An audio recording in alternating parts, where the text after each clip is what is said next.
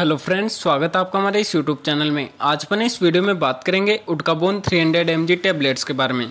देखिए, इस टेबलेट के अंदर अपन कंपोजिशन के बारे में बात करें तो इसके अंदर दिया गया है उर्सोडोक्सिकोलिक एसिड 300 मिलीग्राम।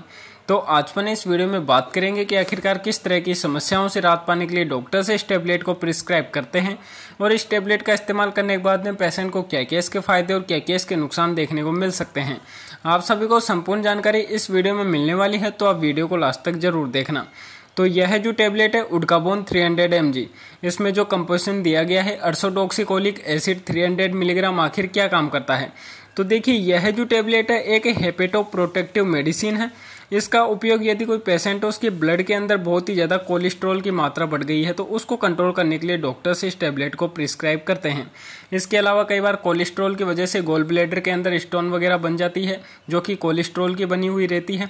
तो पथरी को बाहर निकालने के लिए भी डॉक्टर्स इस टेबलेट को प्रिस्क्राइब करते हैं। यानी कि गोल ब्लेडर के अंदर यानी कि कोलेस्ट्रॉल की पथरी बन गई है और वह बाहर नहीं निकल रही है तो उसको पिघाल कर बाहर निकालने का काम करती है। साथ में यह जो टेबलेट है, आपके कोलेस्ट्रॉल को मेंटेनेंस बनाए रखता है।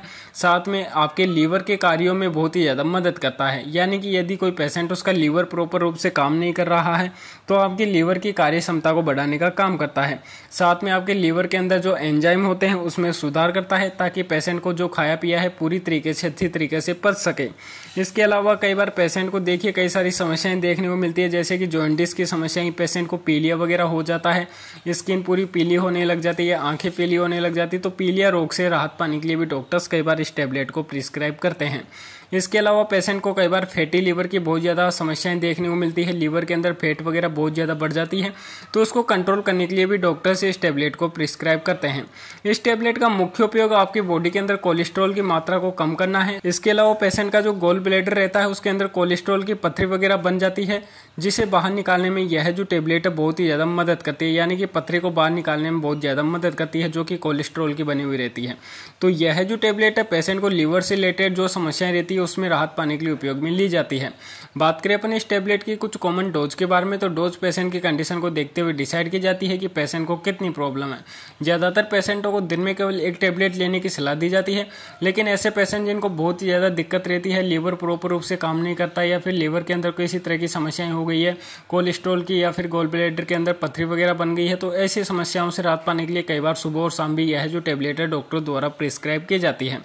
अपन बात करें इस टेबलेट के कुछ कॉमन साइड इफेक्ट्स के बारे में तो साइड इफ़ेक्ट वैसे आपको इसके कुछ भी देखने को नहीं मिलेंगे, लेकिन कई बार पेशेंट को डायरिया हो सकता है, या फिर नोजिया वॉमिटिंग जैसी कुछ समस्याएँ देखने को मिल सकती हैं, या फिर किसी तरह कोई एलर्जिक समस्याएँ होने लगे तो आप इस टेबलेट का उपयोग करना बंद कर दें और अपने डॉक्टर की सलाह के अनुसार इस टेबलेट का उपयोग करें। मैं जिस टेबलेट का रिव्यू कर रहा हूँ, इस टेबलेट की प्राइस तीन सौ जिसके अंदर टेन टेबलेट की स्ट्रिप आपको नॉर्मली मिल जाती है। यदि आप अन्य ब्रांड की और कोई दूसरी टैबलेट का इस्तेमाल करोगे जिसके अंदर अर्सोडोक्सिकोलिक एसिड 300 मिलीग्राम दिया गया हो तो उसकी प्राइस में आपको कमी या ज़्यादा देखने को मिल सकता है।